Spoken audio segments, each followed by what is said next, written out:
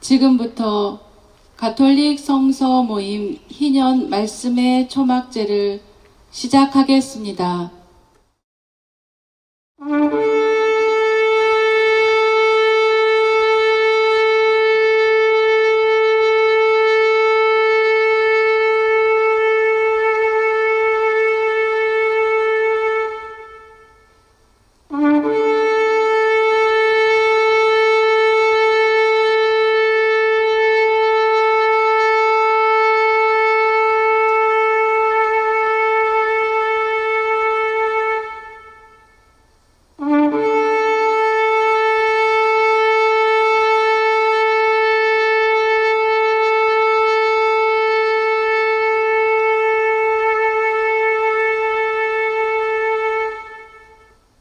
성부와 성자와 성령께서는 여기 모인 모든 이에 강복하시어 길이 머물게 하소서.